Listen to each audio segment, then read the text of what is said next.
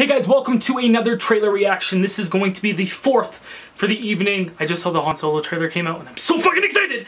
But before that, uh, let's watch a trailer for uh, Quiet Place, which stars Emily Blunt.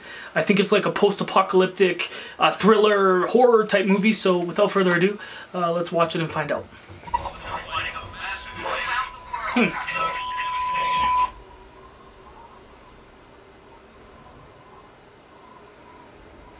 Very beautiful.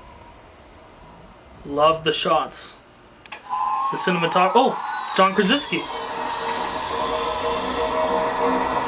What?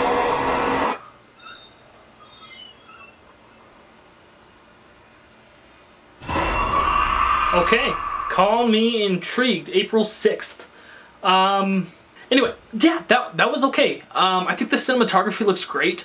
Um, obviously, with Emily Blunt and John uh, Krasinski, uh, they're a real-life couple, so their chemistry in the film is going to be incredible.